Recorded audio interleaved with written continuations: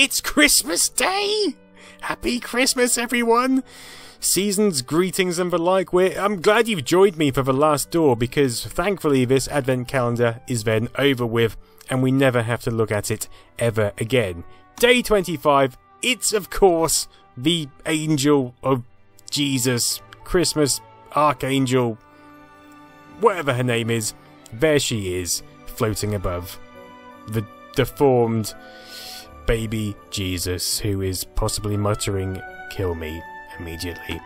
I'm sure he's not. I'm sure he's happy as Larry. I'm sure all these people are happy as Larry. But it would be better if we just closed everything and went back. Oh, everything's closed. But look, we can open everything in one go. Look at that. Isn't that a Christmas treat for everyone involved? While we're here, let's look what the Advent calendar is about. It's about this guy who made it. Portions, copyright Microsoft Corporation 1990. So you've got Paul Guru and Microsoft to thank for this year's Advent festivities. Thank you for watching. I hope you have a fabulous Christmas, and I'll see you soon. Goodbye.